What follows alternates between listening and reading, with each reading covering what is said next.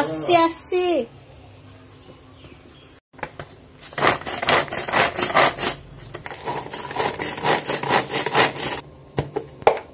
তোমাদের এতক্ষণে দেখে মনে হয় বুঝতে অসুবিধা নেই যে আজকে আমি তোমাদের জন্য লোটে মাছের রেসিপি নিয়ে এসেছি। তো এখানে দেখতে পাচ্ছ পেঁয়াজ, রসুন আলাদা করে কুচিয়েছি আর একটা বড় সাইজের টমেটো কুচিয়েছি আর এখানে লোটে মাছটাকে সেদ্ধ করে নিচ্ছি। আর এই রান্নাটা খুব কমন হলেও কিন্তু অনেকেই জানে না, অনেকেই পারে না কারণ নতুন শিক্ষার্থী বা নতুন ভাবে শিখছে, এরকম তো মানুষ প্রচুর থাকে, সারা জন্ম জন্ম ধরে থাকে, তো তাদের জন্যই মূলত এই রেসিপিটা আর এখানে দেখো আমার লোটে মাছটা সেদ্ধ হয়ে যাওয়ার পর কিন্তু লোটে মাছের যে মোটা কাটা সেটাকে আমি ফেলে দিয়ে মাংসগুলো নিয়ে নিচ্ছি। অনেকে এই কাটার সাথে দেখেছি একবারে রান্না করে। সেক্ষেত্রে কিন্তু কোনো রকম সেদ্ধ করতে হয় না। একবারে কাটা সমেত মাছ ধুয়ে নিয়ে সব মশলা টশলা দিয়ে করতে হয়। তো আমার যেন মনে হয় যে মিডিলের এই কাটাটা ফেলে দিলেই ভালো হয়, না হলে খাওয়ার সময় না খুব মুখে বাঁধে। সেজন্য আমি এই প্রসেসে করি। তো সেই প্রসেসটাই তোমাদের সঙ্গে আজকে শেয়ার করব।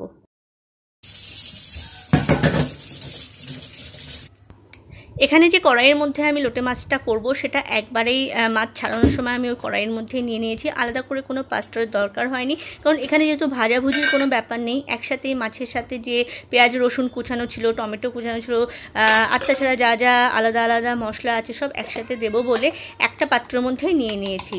আর কীভাবে করছি চলো দেখতে থাকো, এরপরে আবার তোমাদের বলে দিচ্ছি। তো এর মধ্যে পেঁয়াজ, রসুন কুচি আর টমেটো কুচি একসাথে দিয়ে দিলাম। যেহেতু এটা আগে থাকতে তেলে কিছু ফ্রাই করার দরকার নেই, তো একসাথে কড়াইয়ের মধ্যে আমি দিয়ে নিচ্ছি, ঠিক আছে? এবার এর মধ্যে দিয়ে দেবো তেল, সর্ষের তেল। মানে একদম যেমন চিকেন মাটন আমরা একসাথে মাখিয়ে বসাই সেই রকমই। আর এক্সট্রা কোনো আলাদা করে জিরের গুঁড়ো, ধনের গুঁড়ো এগুলো কিছুই দেবো না। কারণ এই মাছের মধ্যে না অত মশলা ভালো লাগে না। সিম্পল রসুন পেঁয়াজের যে ফ্লেভার সেটা হলেই ভালো হয়। এবার দিয়ে দিলাম হলুদ গুঁড়ো। এবার দিচ্ছি কাশ্মীরি লঙ্কা গুঁড়ো। দিচ্ছি আন্দাজ মতো লবণ। এখানে দুটো লঙ্কা চিটে দিয়ে দিলাম এর মধ্যে। ব্যাস, আর কিছু দিতে হবে না। এবার শুধু এটাকে ওভেনে বসিয়ে দেবো। বসিয়ে দিয়ে ভালো করে কষাতে হবে। একদম ঝো মানে ঝুরঝুরে টাইপের না লোটের ঝুড়ো যেহেতু এটা। তো কষিয়ে কষিয়ে জলটা যখন শুকিয়ে এসে ঝুরঝুরে টাইপের হয়ে যাবে, তখনই কিন্তু এটা রেডি হবে। এই লোটে মাছ ঝুড়ো করতে গিয়ে একটাই পরিশ্রম, সেটা হচ্ছে প্রচুর কষাতে হবে। কষিয়ে কষিয়ে একদম খটখটে ঝুড়ো হয়ে যাবে, তখন এটাকে নামালে খেতে অপূর্ব সুস্বাদু লাগবে। চলো এটাকে বসিয়ে দিই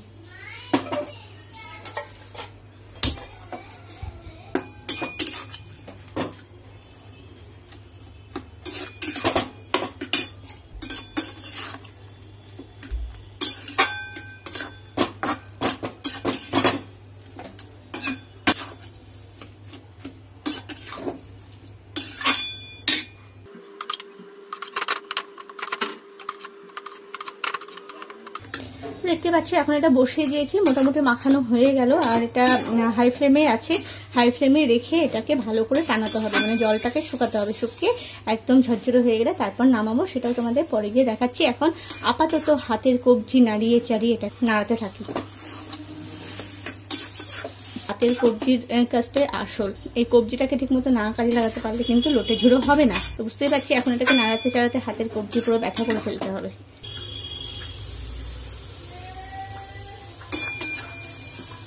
তো দেখেছ? বেশ অনেকক্ষণ কিন্তু এটা কষানো হয়ে গেল আর হাই ফ্লেমে ছিল বলে তাড়াতাড়ি জলটা টেনে গেছে।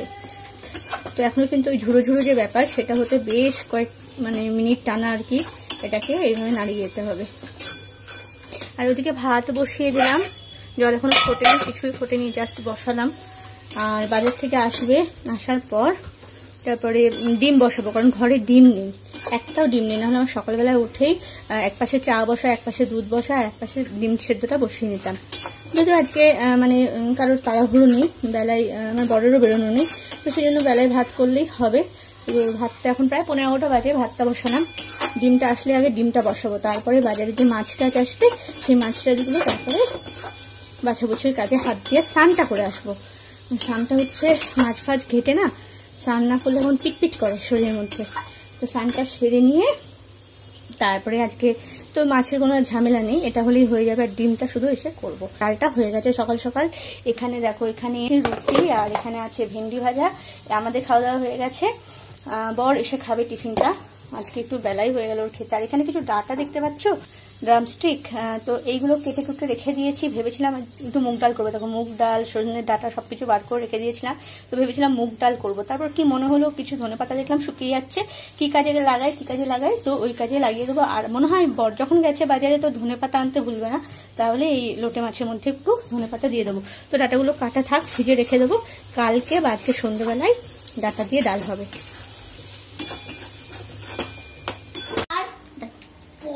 আমার আগে আগে যাবে। কি?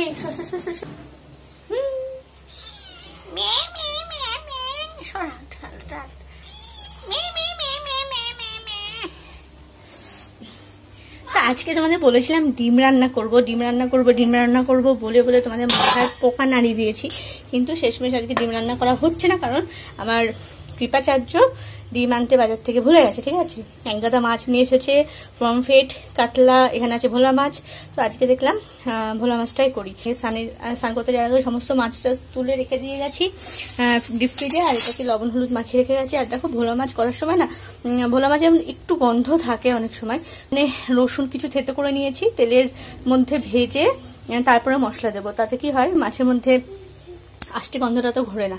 তো সেই জন্য এখন লবণ হলুদ মাখানো ভোলা মাছ এটাকে আমি ভাজবো আগে।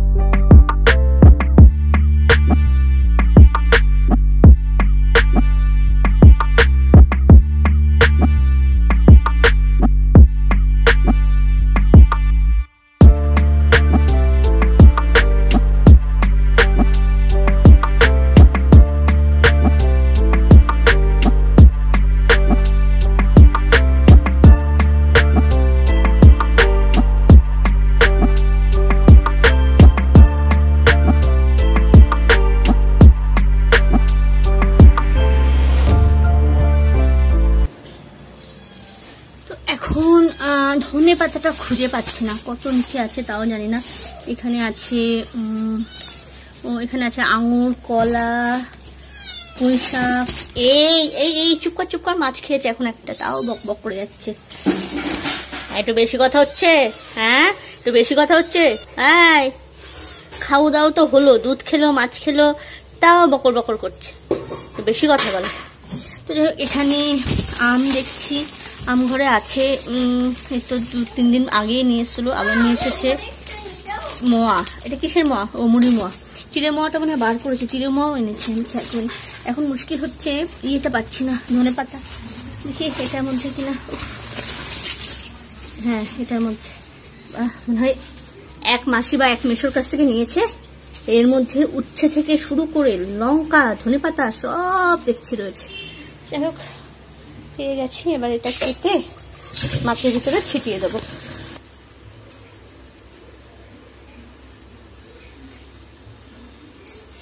ধনে পাতাটা দিয়েছি, দিয়ে এখন প্রচণ্ড গরম আছে, এইমাত্র আর কি গ্যাস অফ করলাম। এবার এটাকে ইয়ে করব ঢেকে দেবো। এই ভাপে ভাপে ধনে পাতার গন্ধ মাছের সাথে মিশে যাবে। আজকে ওয়েদারটা ভীষণই খারাপ বলব না, ভালোই বলব। কারণ এরকম ওয়েদার আমার খুব পছন্দের একটা ওয়েদার আর সকাল থেকে বৃষ্টি হয়েছে, এর মধ্যে দুবার বৃষ্টি হয়ে গেল। এক্ষুনি হচ্ছিল এখন একটু ছেড়েছে। ম্যাথস হলো, এবার ইংলিশটা করবে না? না হ্যান্ড রাইটিং করতে হবে রিডিং করতে হবে হবে না? না, তুমি খেলে নাও, তোমাকে একটু ছাড় দিয়েছি, তারপরে আবার ভালো হয় না, তুমি গুড বই তো। শোনা বাচ্চা তো এইভাবে বাচ্চাদের মানাতে হয় আর কি। একটানা পড়তে পড়তে ওদেরও ভালো লাগে না, আমাদেরও অতক্ষণ একটানা পড়াতে নিশ্চয়ই ভালো লাগে না। আর তাছাড়া লেখার কাজ যখন থাকে, হাত প্রচণ্ড ব্যথা হয়ে যায়। সেই জন্য মাঝে মাঝে একটু গ্যাপ দিই। তো ওনাকে আমি গ্যাপ দিয়েছি, উনি ভেবে নিয়েছেন যে পড়ার থেকে ছুটি, ঠিক আছে? তো উনি ভেবে নিয়েছেন যে আজকের মতো চোখটা কেমন করছে? আজকের মতো পড়া কমপ্লিট হয়ে গেছে। কিন্তু না, এখন ইংলিশটা নিয়ে বসাতে হবে। তো যথারীতি আবারও রান্নাঘরে চলে আসলাম। আর এখানে দেখছি যে কি কি খাবার বেঁচেছে আর কিছু করতে হবে কিনা। তো লোটে মাছ মোটামুটি ভালোই আছে। ডালটা একটু কম আছে।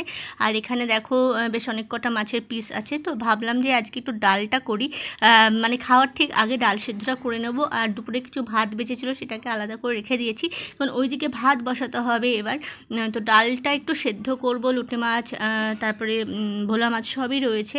এখানে আমি পুঁইশাকগুলো যে বাজার থেকে এসেছিল, সেগুলোকে বার করে রেখেছি। না হলে না নেতিয়ে যাবে। কারণ আজকে তো আর করব না, কালকে করব কিনা তাও সন্দেহ। আর যা যা আছে সেগুলো মোটামুটি বার করে রাখি। যেমন আম আম এনেছে দেখলাম, সেটাও বার করে রাখলাম। আর গত সপ্তাহে কিছু আম আনা আছে, সেগুলো সমস্ত ফ্রিজে আছে। কুমড়ো দেখবে ভীষণ পরিমাণে নষ্ট হয়, তো সেই জন্য কুমড়োটাও তড়িঘড়ি বার করলাম। আর পুঁই শাকটা ভাবছি আজকে কেটে রাখব, যদি সময় পাই। তাহলে ফ্রিজে রাখা যাবে। তো এর মধ্যে যা যা সবজি লাগে সেগুলো এখন বার করে নিচ্ছি। আলুটা দিয়েছি। আর একটা আলু দেবো কি না ভাবছি কারণ পুঁইশাকে বেশি সবজি তো লাগে না। অনেক সময় বেগুন দেয় তো বেগুনটা দিলে বেশি ঘন ঘন হয়ে যায়। সেজন্য বেগুনটা তুলেও কিন্তু বেগুনটা দিলাম না। ওইদিকে দুটো আলু অ্যাড করলাম, কারণ একটু আলু দিলে পুঁইশাকটা ভালো লাগে। আর যেহেতু চিংড়ি মাছ আছে, তো চিংড়ি মাছ দিয়ে করব ভাবছি। আবার ওইদিকে ইলিশ মাছের মাথাও রয়েছে। তো যাই হোক, তখন ঠিক করব। আর এখানে দেখো উচ্ছে আছে ধনে পাতা আছে, যেগুলো কিন্তু রাত মানে পোহাতে পোহাতে কিন্তু নষ্ট হয়ে যাওয়ার চান্স থাকে। তো এগুলোকে সবই ফ্রিজে তুলবো। আর ফ্রিজে তোলার মুহূর্তে আমি একটা জিনিস মনে পড়ল যে টেবিলে না আমি দুপুরবেলা আম কাটবো বলে বার করে রেখে দিয়েছিলাম। ডিরেক্ট ফ্রিজের আমটা খায় না, প্রচণ্ড ঠান্ডা থাকে। তো সেটাই এখন মানে মনে পড়ল দেখে। তো ওইগুলো তখন তুলে রাখব, ওইগুলো আজকে এসেছে বাজার থেকে, আমটাও আজকে এসেছে। আর এগুলো গত সপ্তাহে আনা। তো হিমসাগর আম, এগুলো ভীষণ ভালো টেস্টি একটা খেয়েছিলাম। আর তিনটে রয়েছে। তো এখন এগুলোকে কি করব ভাবছি? এখন খাব না খাব না, বুঝতে পারছি না। দেখি কি করা যায়।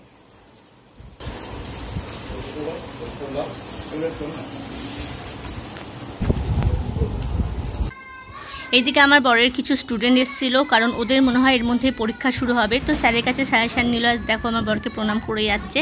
তো এগুলোই হচ্ছে ভদ্রতা বোধ যে পরীক্ষা শুরু হওয়ার আগে স্যারদের ম্যাডামদের মানে একটু প্রণাম করে আসে। তো এটা চলছে আর এখান থেকে যিনি বেরোলেন তিনি হচ্ছে আমার ছেলের কম্পিউটার স্যার তো এখন আমি আবার রান্নাঘরের দিকে যাচ্ছি।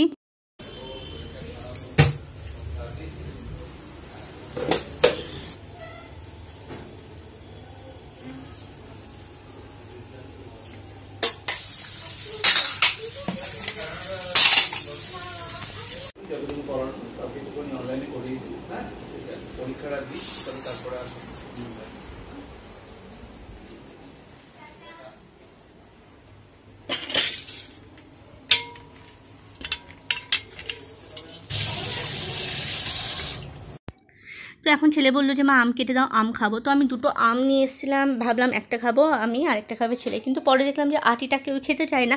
তো সেই জন্য আটিটা আমি খাব বলে আর দুটো আম কাটলাম না। তো তোমাদের এই আমটা দেখাচ্ছি, দেখো কত সুন্দর কালার, দেখেছ? আর কালার দেখলে না আম খাওয়ার ইচ্ছাটা বেড়ে যায় আর বোঝাও যায় যে খুব মিষ্টি হবে। তো এখন আমটা কাটছি, আমটা ওই চার ভাগ করে কাটবো, কেটে প্লেটে দেবো, ছেলে খেয়ে নেবে, খোসা, সমিতি দেবো, খোসা ছাড়িয়ে আর দেবো না, ও খোসা দিয়ে আম খেতে খুব ভালোবাসে। তো যাই হোক আমার আম কাটা হয়ে গেছে, এখানে থালায় সুন্দর করে গুছিয়েও দিয়েছি। কারণ যে কোনো খাবার না তার মানে সুন্দর করে পরিবেশন করাটা কিন্তু খুব দরকার। তো এখন আম খাওয়া পর্ব চলবে আর আমি ওদিকে এখন বসে বসে আটি খাব। কারণ রান্না বান্নার দিকে আর কোনো ঝামেলা নেই। দেখালাম যা যা আছে সবই হয়ে যাবে। ভাতটা বসিয়ে এসেছি। চলো তাহলে আজকে ভিডিওটা এখানে রাখছি। তোমাদের সঙ্গে দেখা হবে নেক্সট ব্লগে ততক্ষণ সকলকে টাটা অ্যান্ড গুড নাইট